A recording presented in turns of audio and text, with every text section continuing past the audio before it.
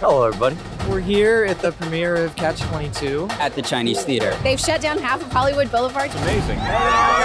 Coming to see Catch 22 for the first time ever. It's an amazing series that is completely relevant today. Tonally, it's not something I think people have seen before. It's funny and it's uh, kind of horrific. It's a chance to see all the characters and get to understand them a little bit better before we kill them all. Don't get too attached to anybody. The writers did a perfect job of adapting an insane novel. You really get the heart of it, especially in Chris's performance. The cast is amazing. All these fine young actors bring this World War II classic to life. We were just honored to be a part of it. The show's as fun to watch as it was to make. It's pretty incredible. There's a little something for everybody. Tell all your friends and family. They better get their butts on the couch, turn on Hulu, and watch Catch 22. Catch 22. Catch 22.